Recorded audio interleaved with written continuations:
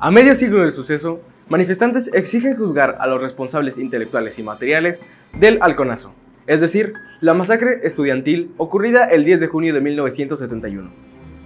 Este día, el Comité 68 Pro Libertades Democráticas y la Asamblea General FES, Acatlán, se reunieron en la plazoleta para dirigirse a la casa del expresidente Luis Echeverría Álvarez en conmemoración al 50 aniversario del llamado halconazo.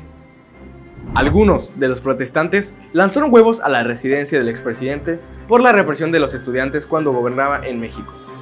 Entre sus demandas también figuran la revocación de cargos a los expresos y procesados del 10 de junio de 2013, justicia a los crímenes de lesa humanidad, alto a los feminicidios y declaración de alerta de género nacional. Para Grupo Contrapunto, Jonathan Estrada.